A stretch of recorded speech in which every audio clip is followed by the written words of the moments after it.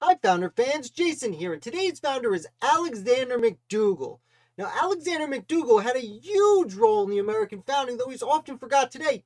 I usually like to compare him, though it's not the best comparison, to New York City's John Hancock. And the reason mainly for this is he becomes an extremely important leader early in the war, but he was also has a history as a merchant captain. Though I should say, he really made a name for himself. And let's take a look at him. This guy, Alexander McDougall, really made a name for himself during the French and Indian War when he served as a privateer. Uh, after that, he did such a good job winning prizes that he was able to open up a successful merchant firm. Now, much like John Hancock in Boston and many other merchant uh, ship owners around the colonies, he was upset by several of the acts going on uh, early in the we'll say grievances era with Great Britain. However, he really becomes upset after New York, the New York Colonial Assembly disobeys the Quartering Act and says, well, we're just going to ignore it and not get find any place for the troops to live. And then the royal governor dissolved the New York government. And that's really when Alexander McDougall joins the fray. He was already wealthy and a leader in the city, but he writes a book titled "To the Betray." I'm sorry, a pamphlet titled To the Betrayed Inhabitants of the City and Colony of New York. And this was a scathing assessment of everything that was going on. Now, he published this anonymously, and the publication helped to spark the Battle of Golden Hill, which took place in New York City a few months before the Boston Massacre, and in many fashions could be considered the first violence of the American Revolution. Now, although he published it anonymously, eventually people find out that McDougall is the one who published this, and he actually spends several months in jail for having published this. When he gets out, well, he's been pretty radicalized, and he joins the Sons of Liberty and becomes a leader of the Sons of Liberty. He also becomes a member of the Committee of Correspondence in New York City.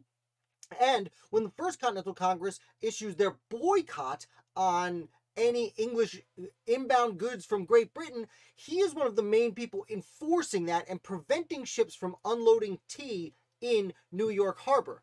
Now, when the war breaks out in Lexington and Concord, almost immediately McDougall is appointed as an officer. He's a colonel in the war uh, at first. Now, over the course of the war, McDougall makes his way up all the way through the ranks to major general. And during this time, he mostly spends his time in the Hudson River uh, with uh, Major General William Heath. There's not a lot of fighting there, but they spend this time essentially watching over British-held New York City and fighting in the the the middleman. Uh, I forget the, the terminology. The the unclaimed zone around New York City. There's a lot of hostilities there. Eventually, uh, he actually gets appointed as uh, the commander in charge of West Point. He takes over for Benedict Arnold when Benedict Arnold does uh, the worst possible job uh, manning West Point, and his treason was, of course, trying to hand over West Point to the British. Either way, McDougall takes over there. He's actually selected to go to the Continental Congress by New York, but when he arrives, he's there about a month before he resigns because he's asked to take over as Secretary of the Marine, which is what we would consider today basically Secretary of the Navy, an extremely important part of administering the war at the time.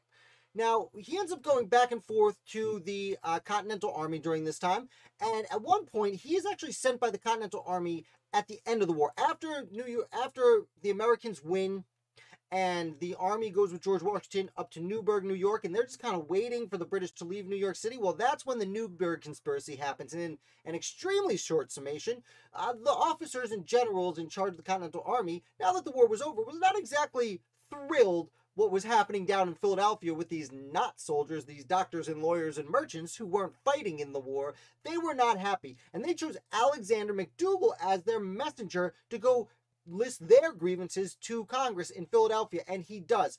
And and McDougall had at this point served most of the war in the army, but also as Secretary of the Marine had experience in Congress with these same people. So he was a great messenger. He went and he listed their grievances. Unfortunately, I will note, McDougall saw the predicament that Philadelphia was in. One of the main arguments or grievances listed by the generals was, can you pay us, please? We've not been paid for several years now we've been cool about it, but now that the war's over, can you pay us? And uh, Continental Congress was like, with what money? and um, Alexander McDougall sympathized with both parties. Now, this ends with the Newburgh conspiracy. Uh, eventually, unfortunately, the grievances that McDougall brought to Congress went unanswered for quite a bit, and uh, George Washington had to step in and let cooler heads prevail in a very famous story. Uh, after this, McDougall, you know, the war ends, he goes back to New York, where he's already a very wealthy man, and he's actually chosen as one of the earliest presidents of the Bank of New York. Now, the Bank of New York we now know today as BNY Mellon. It is still around and it's one of the first banks. And McDougall was one of the president of the bank when it uh, before it would later go on to offer the United States its first loan. Now, I say before because unfortunately, between the end of the Revolutionary War and the signing of the U.S. Constitution, Alexander McDougall passes away. And he is not able to help with the creation of the United States. Again, uh, relating him quite a bit to John Hancock, who although he survived through the creation of the United States, served mostly at the state level after his big early war Sons of Liberty stint. Uh, and so that is a, an extremely brief overview of the life of Alexander McDougall, an American founder who is simply overlooked despite the gigantic role, which I just assessed for you in way too short a period of time. But I hope you enjoyed it. Uh, if you did, definitely hit like. And if you're new here, hit subscribe. I put out videos all week long, including tomorrow, where I will be doing my weekly wrap up of the seven articles published on founderoftheday.com in the past week. I hope you join us, and I look forward to seeing you there.